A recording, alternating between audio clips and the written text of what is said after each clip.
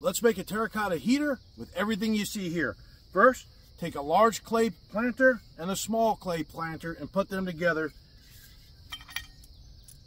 using a bolt with a nut and two washers.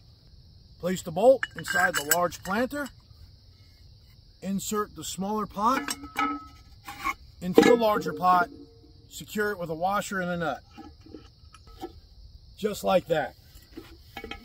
Now, place the three bricks down there. Put a plate. Put a couple of candles, two, three. Now place the pots over top of them.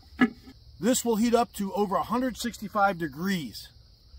You can use this inside your tent, primitive shelter, to warm the space, even a 12 by 12 room in an emergency.